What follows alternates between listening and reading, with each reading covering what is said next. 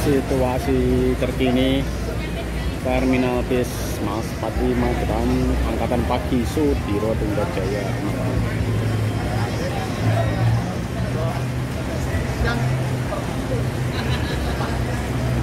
ramai banget.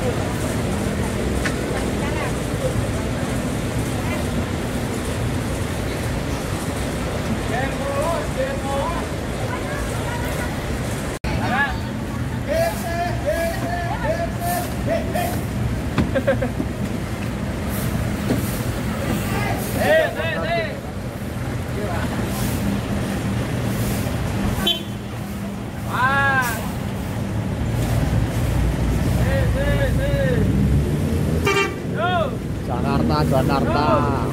Ini teman-teman.